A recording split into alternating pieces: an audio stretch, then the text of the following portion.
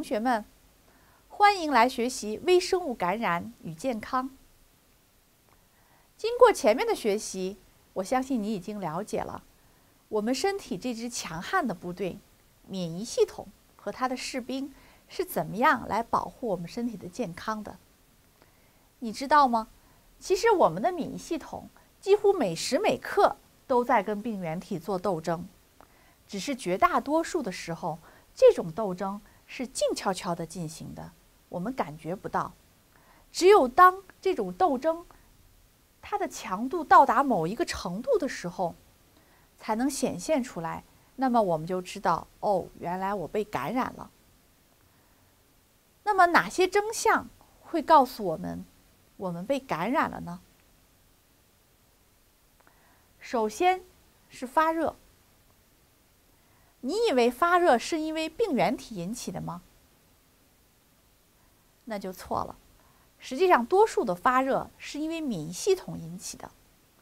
因为免疫细胞在和病原体做斗争的过程当中，它会释放很多的细胞因子，其中有些细胞因子会进入到大脑。命令我们的体温中枢升高体温，因为病原体在高体温下是会死掉的。所以呀，医生会告诉你，如果是低温的话，只需要休息、注意观察就行了，不需要用药物去降温。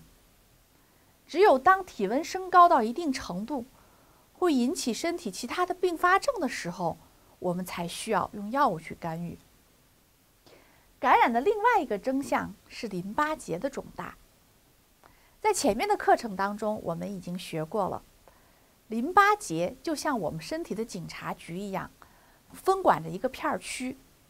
如果它分管的片区当中出现了病原微生物，那么病原微生物的信息就会被送到淋巴结当中。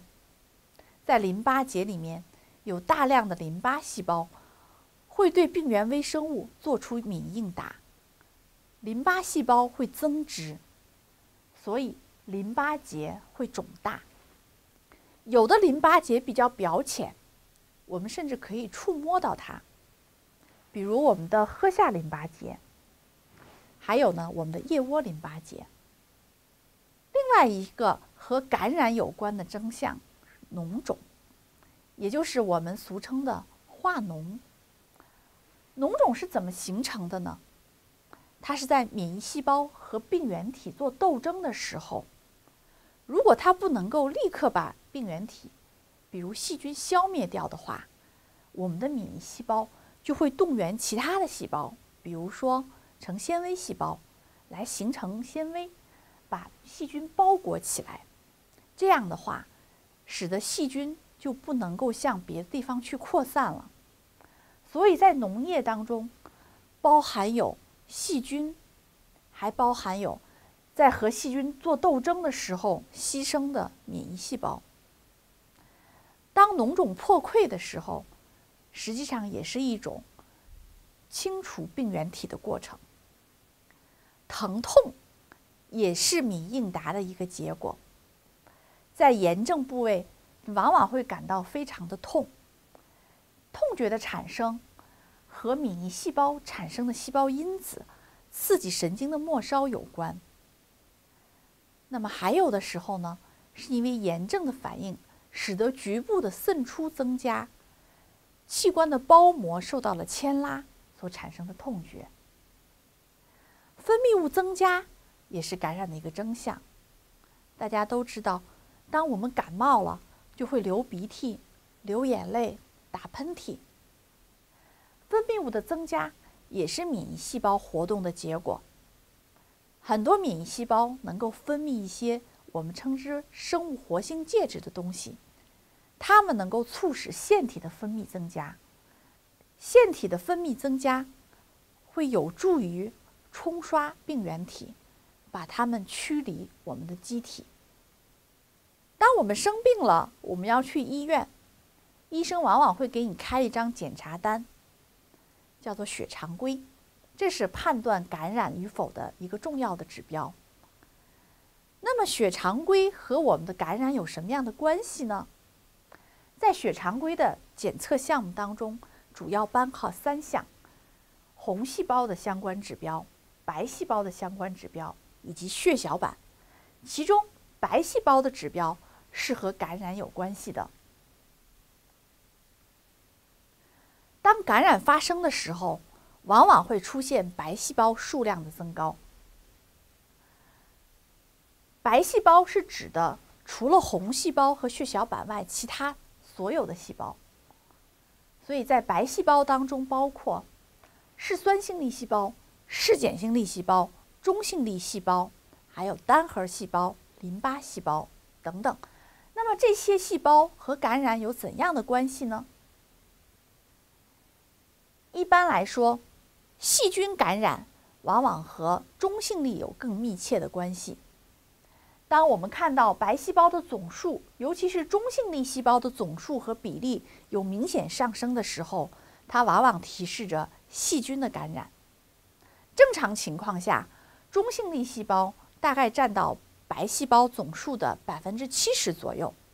如果这个比例上升到了百分之九十，那么毫无疑问。你是被细菌感染了。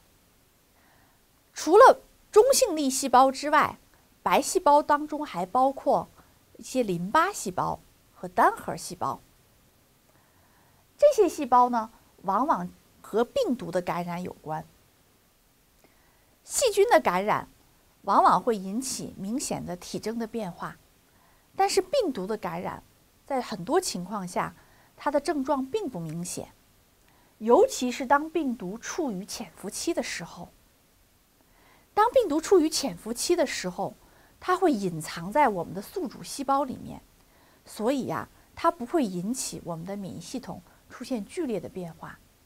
那么在这种情况下，我们怎么样去知道一个人是不是被病毒感染了呢？免疫系统知道，免疫系统知道病毒是否曾经来过。因为当病毒入侵的时候，它能够被免疫系统所识别。免疫系统对抗原进行识别后，会产生免疫应答，形成抗体。抗体可以存在于血清当中，而且存在很长的时间。因此啊，即使我们很难找到一个机体直接感染病毒的证据，但是抗体的存在就标志着这个机体。曾经被病毒相关的抗原感染过。正因为如此，所以抗体的检测是临床上进行病毒感染检测的一个重要方法。比如艾滋病，如果在一个人的体内出现了抗艾滋病病毒的抗体，那么就意味着这个人曾经被艾滋病毒感染过。但是对有一些疾病，比如乙肝，我们需要谨慎，因为乙肝疫苗的接种也能够诱导出抗体的产生，因此我们需要咨询专业的医生。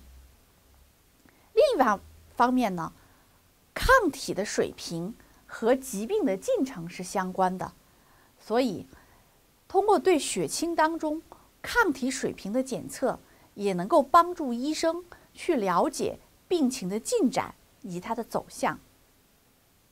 好，经过今天的学习，我相信大家已经了解了感染的真相以及产生这些真相的原因。咱们今天的课就到这儿，谢谢大家。